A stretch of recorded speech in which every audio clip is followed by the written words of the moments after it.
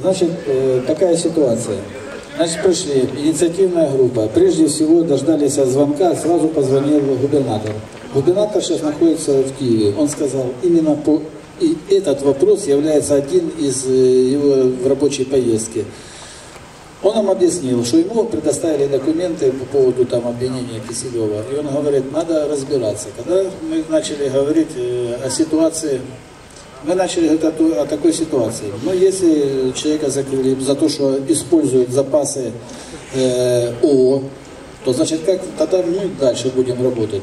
Ведь главный инженер не хочет сейчас опускать людей. Примерно в понедельник уже будет приказ о том, чтобы никого не опускать в шахту.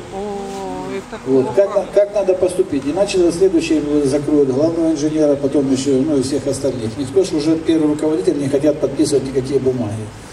И вот по этому поводу обратились сразу в областную прокуратуру. Было написано звернення. Мы написали от трудового коллектива звернення и написали э, от администрации шахты. Сейчас это звернення уже передали в областную прокуратуру. Они позвонили и сказали, что сейчас будет ответ. Вот, по поводу...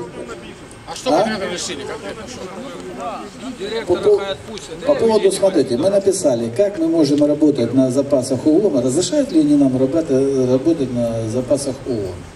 Если они скажут да, если они скажут, что они разрешают на запасах ООН, а за что тогда закрыли Киселева? И вот этот ответ, вот этот ответ, обязательно, буквально сегодня, завтра, в понедельник уже адвокаты привезут в суд и скажут, если вы закрываете человека за это, а, это как-то вы же его обвиняете по этой же статье, по которой вы его хотите отпустить.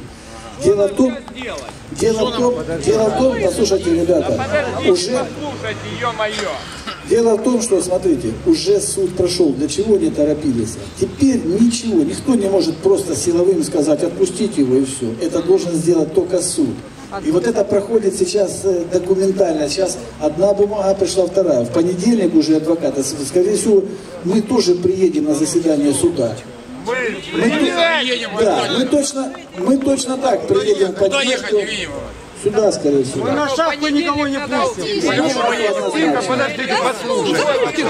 На шахту, ребята, однозначно. Сейчас мы, даже, мы, сейчас мы дожидаемся ответа. Они вот-вот вот дадут, скинут на электронку. Садимся, садимся в автобус и едем. Основное дело, то, что нас поддерживает э, областная администрация, поверьте, мы сделали.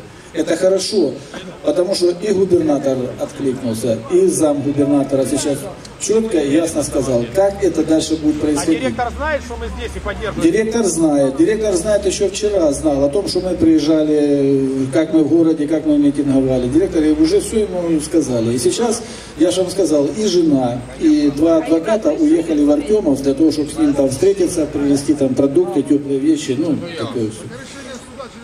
А что сюда решение? А? Честно, что? Честно. Поехали в Артемов! Послу- Послушайте, еще! Сколько ждать послушайте еще раз. Сейчас будет, я повторяю еще раз, сейчас будет ответ прокуратуры по поводу задержания его и по по поводу того, можем ли работать, повторяю, на запасах. Если они скажут, что мы можем работать дальше, что шахту нельзя остановить, тогда за что его арестовали? Вот вопрос становится. И с этой, и с Мы этой, ждем этот ответ или нет? да, мы ждем этот ответ сейчас. Но они говорят, что не за нас. А? А если нельзя, имеем? Да, это, послушайте, ребята, еще раз. Давайте По поводу губернатора. Четко ясно, с Киева позвонил и сказал, все делаем для того, чтобы шахта работала стабильно, все сделаем э, для того, чтобы было честное, объективное решение по поводу нашего генерального директора. Вот. Поэтому сейчас дожидаемся этого ответа и едем домой.